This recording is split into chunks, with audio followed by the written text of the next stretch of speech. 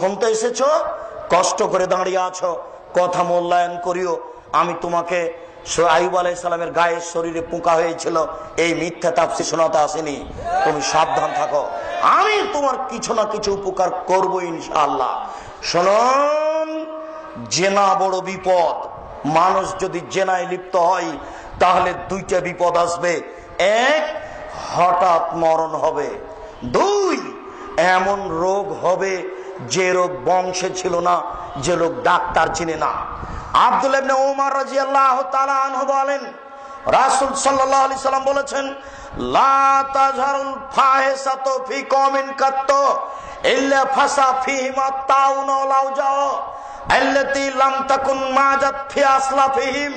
পৃথিবীর মানুষ মনে মানুষ যদি জেনায় লিপ্ত হয়, জনগণ যদি জেনায় লিপ্ত হয় তাহলে তাদের উপরে এক নাম্বার আসবে মহামারী কলেরা, হঠাৎ মরণ হবে। যদি মানুষ জেনায় লিপ্ত হয়, তাহলে তার উপরে আসবে মহামারী কলেরা, হঠাৎ মরণ হবে। আমি অনুবাদক তিনি বলেছেন, দুই অলাও যাও, এমন রোগ হবে যে রোগ বংশে ছিল না। এমন রোগ হবে যে রোগ ডাক্তার চিনে না। এই কথা আল্লাহর নবী সাড়ে চোদ্দশো বছর পূর্বে বলেছেন। তিনি বলেছেন, অতীতে কারোর এ রোগ ছিল না। ডাক্তারের কথাটি আমি নিজে বললাম। তিনি বলেছেন, বংশে কারও এরকম রোগ ছিল না এই রোগ তার হবে। এতে থেকে বুঝে নিতে হবে যে রোগ ডাক্তার চিনে না, এটা কি রোগ হয়েছে। তোমাকে ক্যান্সারের নাম দিয়ে মরতে হবে। তুমি সাবধান থাকো, তুমি বুঝতে পারো নি জেনা কি জিনিস। মনে রেখো তুমি জেনা কি জিনিস। শুধু তাই নয়, মানুষ যদি জেনায় লিপ্ত হয়, তাহলে তাকে ভিক্ষুক হতে হবে। তার উপরে দারিদ্রতা ছেয়ে যাবে। আব্দুল্লাহ মাসুদ আল্লাহ রাসুল বলেছেন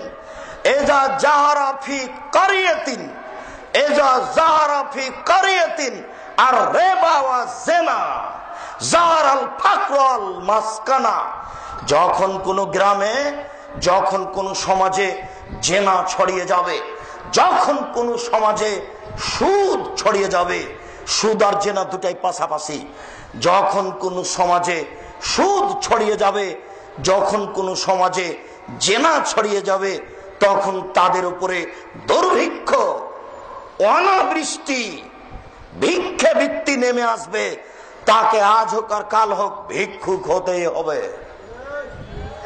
জেনার তালে সে নির্দ্বিধাই টাকা ধ্বংস করবে।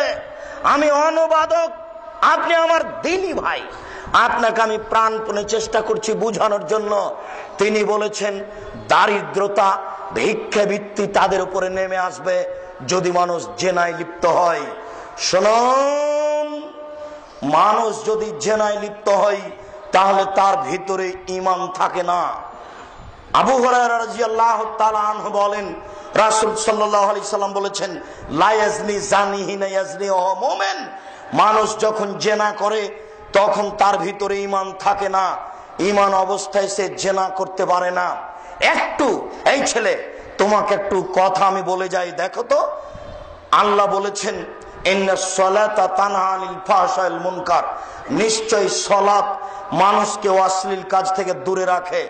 আবার বুঝো, আল্লাহ বলছেন, নিশ্চয় নামাজ মানুষকে অশ্লীল কাজ থেকে দূরে রাখে। আবার বুঝো, নিশ্চয় নামাজ মানুষকে অশ্লীল কাজ থেকে দূরে রাখে। এই ছেলে, তুমি পাঁচ অক্ট নামাজ পড়ো। তোমার মোবাইলে জেনার গল্প কেন বলো? আল্লাহ বলেছেন পাঁচ অক্ত নামাজ পড়ে যে নামাজ তাকে জেনা করতে দেবে না। তোমার ভাবি বোরকা পরে থাকে, তোমার ভাবি তাহাজুদ পড়ে, নির্দ্বিধায় তোমার ভাবি মোবাইলে জেনার গল্প করে। বলো তাহলে আল্লাহ কি মিথ্যে কথা বলেছেন? নওজুবিল্লা আল্লাহ মিথ্যে কথা বলেননি। বলো রহস্য কি? শোন, আমি মনে হয় কথা বুঝাতে পারছি না। আবার বলব কি? আল্লাহ বলছেন যে নামাজ মানুষকে কি করে? অশ্লীল কাজ থেকে দূরে রাখে। আমি মনে হয় বুঝাতে পারছি না। আল্লাহ বলছেন যে নামাজ মানুষকে কি করে? অশ্লীল কাজ থেকে দূরে রাখে। এই যে ছেলেগুলি দেখছেন, এই যে পাশে মেয়েগুলি আছে, এদের প্রায়েরই জেনার গল্প আছে, পাঁচ অক্ত নামাজ পড়ে। আবার কেউ কেউ তাহার যুদ্ধ পড়ে। তাহলে জেনার গল্প কেন? তাহলে কি আল্লাহ মিথ্যা কথা বলেছেন? যেই না হিসাব করতে হবে। ইমান ভিন্ন জিনিস।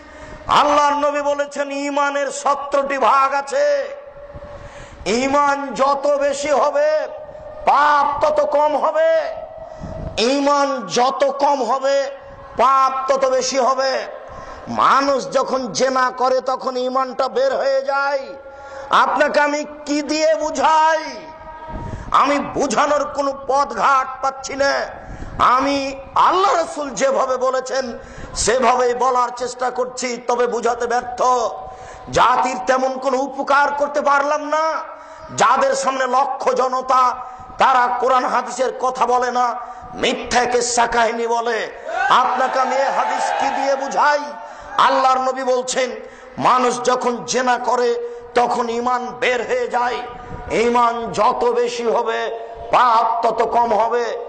ইমান যত বেশি হবে, পাপ তত কম হবে। ইমান যত কম হবে, পাপ তত বেশি হবে। দেখো যুবক, তোমাকে আবার একটু এই